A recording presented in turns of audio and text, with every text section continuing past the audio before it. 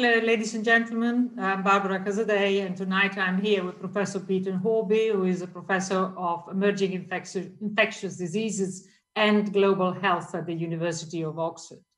The topic tonight is incredibly relevant, and that is the treatment of patients with COVID 19. Uh, we have run a little survey at the European Society of Cardiology um, and find out that the treatment of these patients across Europe is incredibly variable. So it really is a point of discussion and something that we really need to know what it is that we should be doing. Uh, let's not get tempted to do too much too early, and most of all, randomized. In some way, we are in a, in a weird way already randomizing, uh, cluster randomizing across Europe. So, Peter, thank you so much for uh, agreeing to uh, be interviewed by the European Society of Cardiology on this topic. Uh, you are the, the expert here. So, really, the question is what are really the therapeutic options for these patients? Are there any? And what have we learned from the disease so far? Thank you very much, Barbara. It's a pleasure to be here. And thank you for um, that uh, rather gracious introduction. I hope I can live up to it. Um, I think, as many of you will know, really, you know, COVID is is partly a sort of biphasic disease process. Um, patients are getting infected with the virus and, and, developing a mild illness with viral replication. And then at about the week stage, people start to diverge. They either start to get better or they start to deteriorate. And that second phase then is you know, also marked by quite a you know, serious inflammatory process in some of the patients. So it's really got you know two components. There's the viral replication and the associated inflammation. And we've seen that with other serious viral pneumonias previously. I've seen it with SARS, with MERS coronavirus, and with avian influenza viruses. So it's, it's fairly typical of these very aggressive um, viral respiratory pneumonias you know, and it, uh, there's lots of data out there, but this is just one slide showing the, the differences in the inflammatory markers between patients who are hospitalized, but then you know, either recover or die. And, and many physicians will, will be familiar with this picture of those patients with this hyper-inflammatory state. So I think, you know, that means that we have a couple of choices. We have target the virus, you know, or also host-directed therapies to target the inflammatory response. Um, in addition to that, there will also be all the adjuvant therapies, you know, so oxygen support and and um, perhaps anticoagulants for those with a hypercoagulable state. Um, but they're really the, the, two, two core targets of our therapies.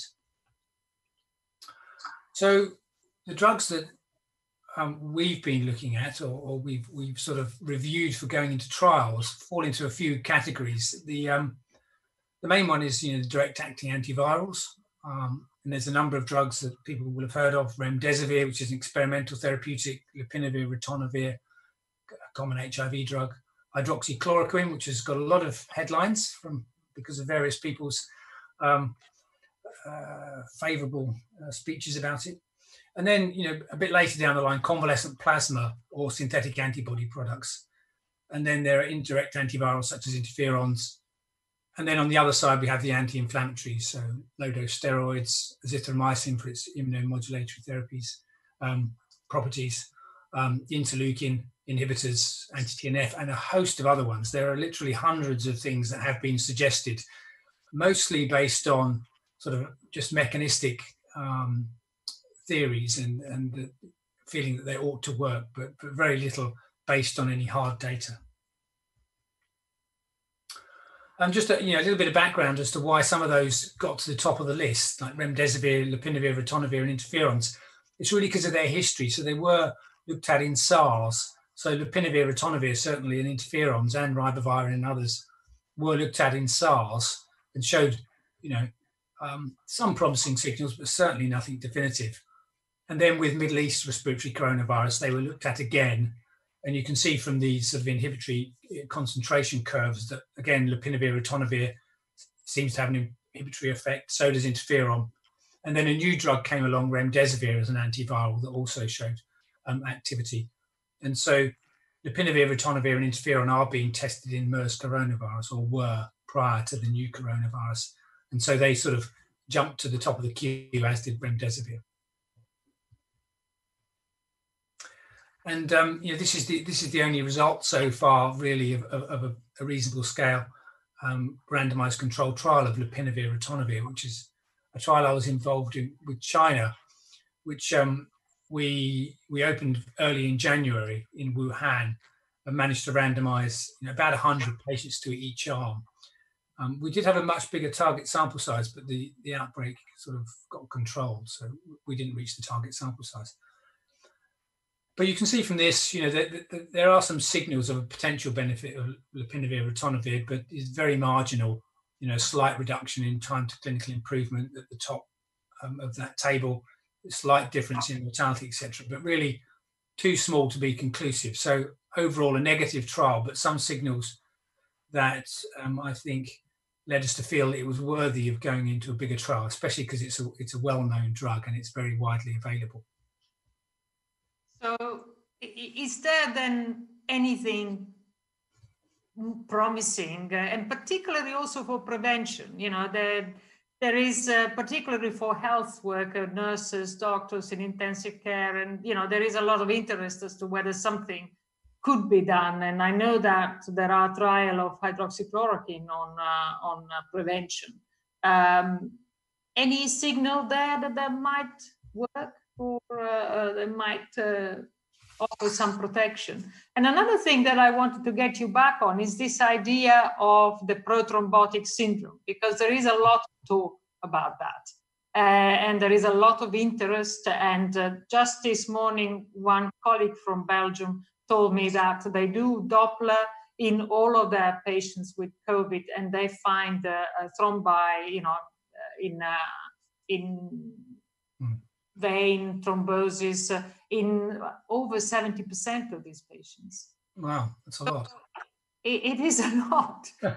is there something? I mean, all everybody gets low molecular weight heparin anyway. You know, I mean, is there any idea that one should do more or uh, or any plan to do anything like that or, or maybe you know add to the current adaptive trials or, or factor in something that will address this problem yeah it's it's a challenge because the, the patients are quite sick and so there, there's lots of potential um, areas for interventions um, if we look at the most promising approaches i think you know the inflammatory process which you know possibly um, combined with uh, you know infection in endothelial cells, etc., may, may be you know part of the thrombotic picture. Um, what you want is to stop getting to that stage. You know, so really, I think early antiviral treatment would always be the, be the um, the first approach. Um, you know, currently we don't have any um, promising antivirals, to be honest. Um, hydroxychloroquine might work, but I think as some of your speakers have said previously, we don't hold out a huge amount of hope. Mm. Um, and so until we see um, newer drugs coming along, um, I'm not sure that we'll, we'll, we'll come up with an early antiviral treatment. But I think we need to have a go with hydroxychloroquine, with the, the azithromycin, its immunomodulatory effects, and you know in the community, possibly um, lopinavir ritonavir. Um, remdesivir is intravenous, so it's not really appropriate for use in the community. So I think we need to wait for some more of the drug screens to come through to tell us if there's any um, potential antivirals that can could be used in the community. I think some will come along, but I think we're a bit of a way off that yet. I think the other approach would be combination therapies because you're seeing the inflammatory response plus the the the, the anti the, the viral replication and you need to target both of them. I don't think just targeting the inflammatory response is going to help on its own very much because it's driven by viral replication. You see high viral replication in the patients that are most sick, and there's a direct correlation between, you know, viral replication, how sick the patient is, and, and, and how um, severe their inflammatory status is. So, probably the best approach in hospitalized patients will be combination therapy with a good antiviral and, and an immunomodulator. And then I think you come on to, to the adjuvant therapies like those you know, targeting um, thrombotic events, etc. And I think they should be looked at.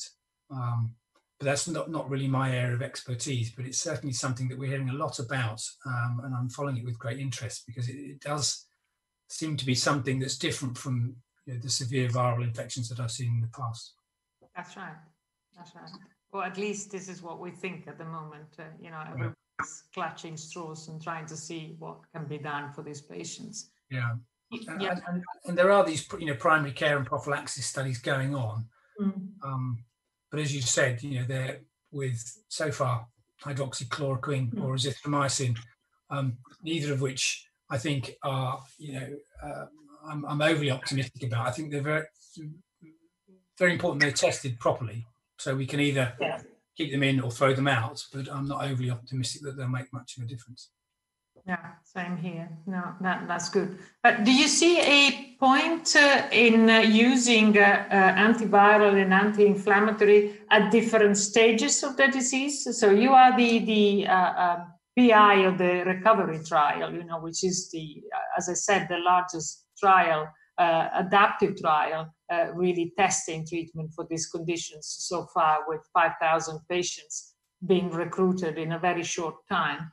Do you plan you know do you when when you are randomizing your uh, uh, drugs uh, are you randomize them all at the same time uh, in a natural history of the disease so we've actually um, adapted the trial in, in, response to the pictures we're seeing so right. Um, yeah. we, we started off you know with the the currently available repurposed drugs the ones that we you know they're on the pharmacy shelf we know the safety profile we know that if they work, they could be you know rapidly scaled up and, and given to a lot of patients.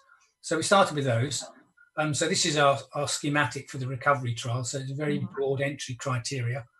Um, basically, any adult admitted to hospital with SARS-CoV, we've recently changed it to suspected as well as um, laboratory confirmed because of we were seeing delays in in, in the entry, um, and we are going to change the trial to start pediatric patients, so that will be coming. And so patients are randomized, you know, lopinavir, ritonavir, low dose dexamethasone, hydroxychloroquine, and azithromycin.